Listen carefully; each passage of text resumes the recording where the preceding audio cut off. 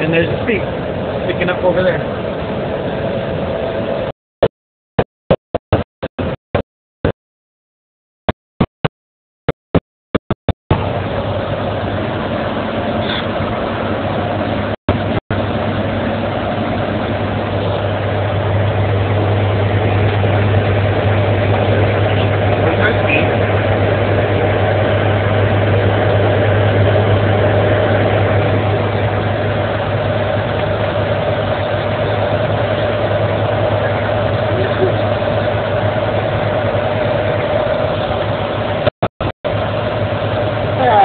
That's the sleeping giant. And like when if we stop there, you'll see